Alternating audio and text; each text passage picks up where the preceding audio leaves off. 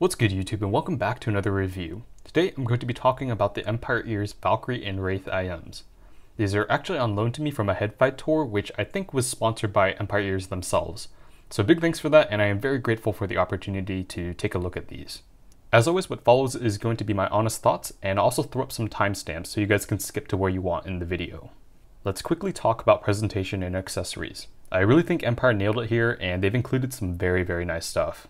And first up, we have these effect audio cables, which are included with both of them. Um, this is the Cleopatra, I believe, and it comes with the Wraith. So yeah, this thing, I when I looked at it, I think it was a $500 cable.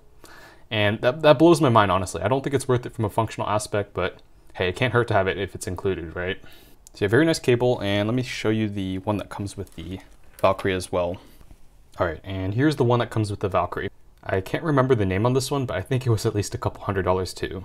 So yeah, very, very expensive cables. Um, they're definitely very pretty. And to reiterate, although I don't know if they're worth it from a functional aspect, it is nice to see that they are including some very, very high quality accessories with their IEMs. The other thing that they have included are these final Type E ear tips. And these are silicone ear tips. You can see that I've taken the small and put it on, whichever one it was.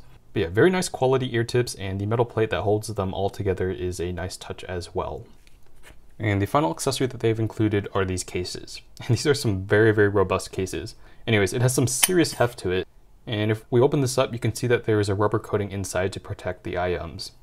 This thing just inspires confidence and it really is a testament to the level of quality they are putting into the accessories alone.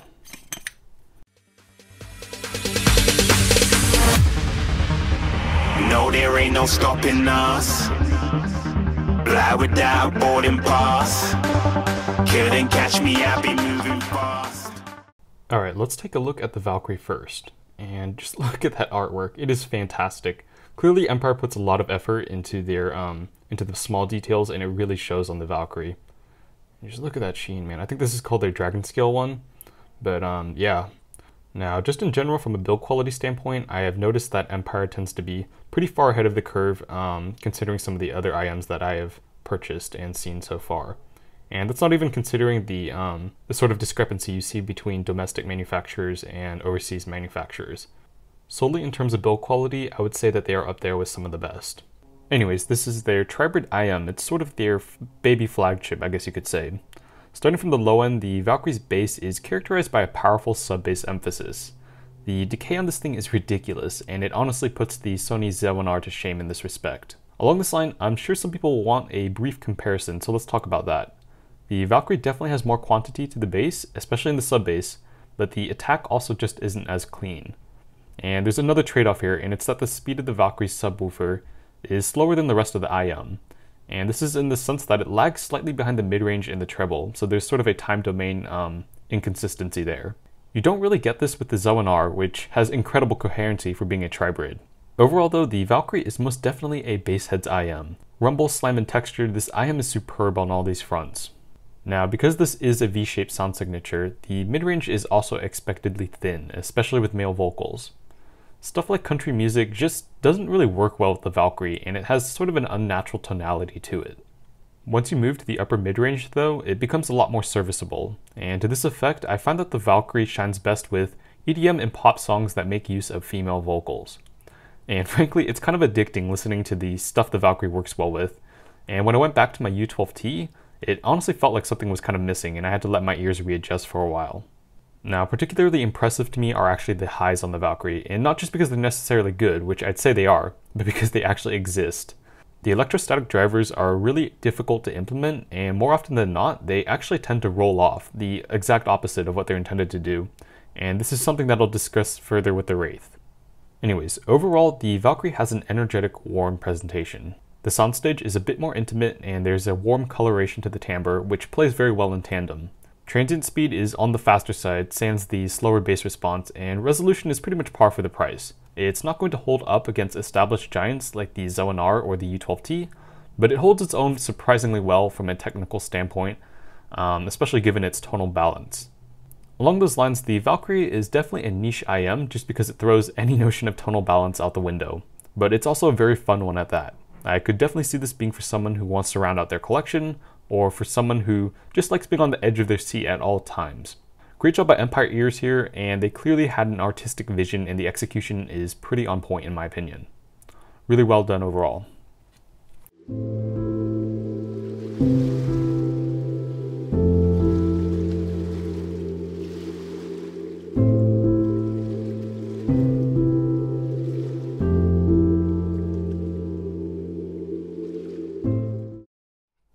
Okay, and on the lines of artistic vision, it really feels like all notion of that went out the window when they made the Wraith. Yeah, I'm just going to drop a few disclaimers before I dive into my thoughts on this. First, what I hear is not what you hear, especially with IEMs, there are a lot of variables that can affect how we hear them.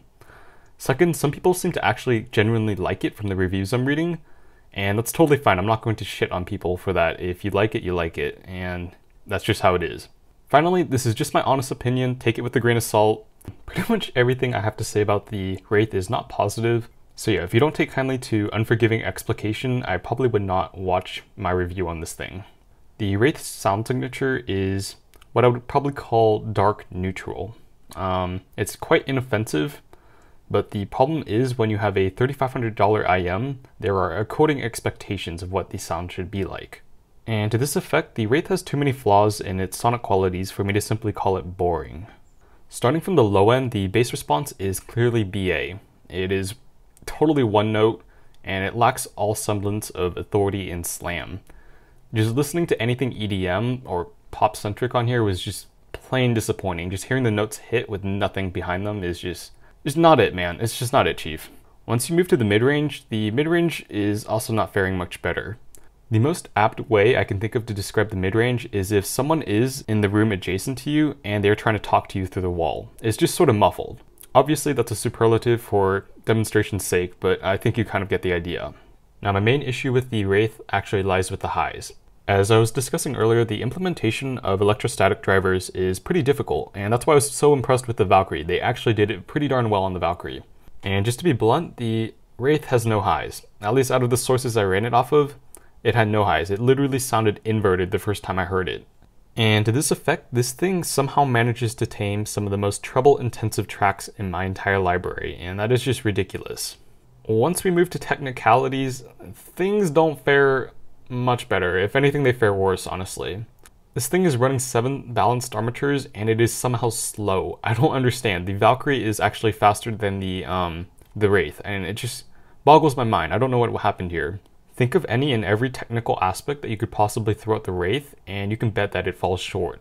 I was curious if it was just me having the issue with the Wraith, so I ended up actually letting my dad listen to it, and I didn't tell him the price, of course, and all he could tell me was that it sounded closed in and horrible. And that's really saying something from someone who has no experience with IEMs. So yeah, I'm honestly not really sure what to say. It's a $3,500 IEM, but just to be just to be candid, in all candidness, it sounds like garbage. I have heard $100, $200 IEMs that sound better than this thing. Now there is a caveat here, and I believe they tuned this off of something that wasn't strictly portable. I want to say it was called the Chord Hugo 2. It's sort of a transportable desktop amp. And apparently off of higher powered sources, the Wraith actually has some semblance of treble. My issue here with this though is that if you're running the Wraith off of a desktop class setup, the better question is why aren't you using headphones instead? It just makes no sense. A good portion of an IEM's functionality is predicated on them being portable, and that's just one of the main reasons why they exist. Anyways, don't get me wrong here. I'm not mad. I have nothing against Empire Ears. More than anything, it's just kind of disappointing knowing that they, they clearly know how to tune ESTs, as evidenced by the Valkyrie, and yet they have four of them in this thing, and it has no semblance of highs at all. And it really feels like they just took a bunch of drivers, crammed them into the Wraith, and basically hoped for the best. Maybe they felt forced to release this because of industry pressure. It feels like a lot of companies are trying to jump on the electrostatic bandwagon, but it doesn't seem to be working out well, and the Wraith is a just a prime example of it in a nutshell. Anyways, I hope you guys enjoyed watching. If you did, be sure to hit that like button and to subscribe for future content. Peace out until next time.